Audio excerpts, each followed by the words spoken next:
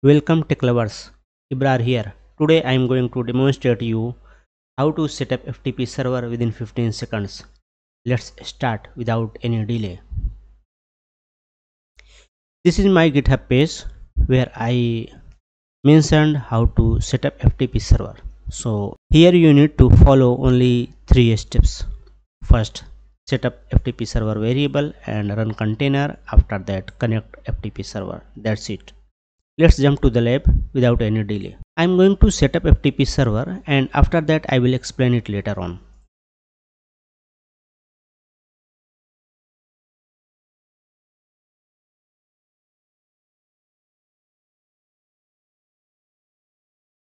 server setup done and uh, now I'm going to connect this FTP server it's already connected before the demo so I'm going to reconnect it yes it's done i'm going to download this file.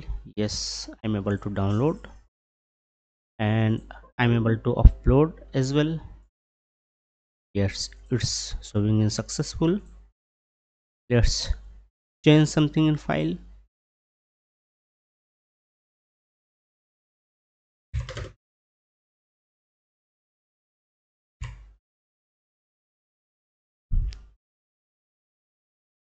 Yes it's working fine. So let me explain what I have done.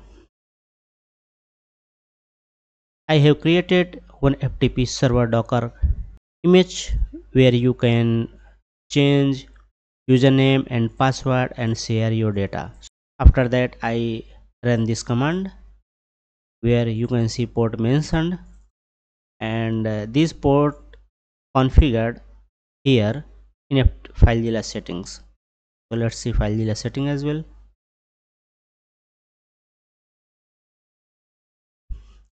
I mentioned every settings which I used in this demo here.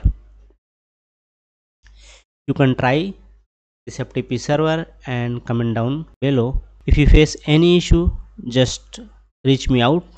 I will help you. Thank you very much. Have a nice day ahead see you in the next video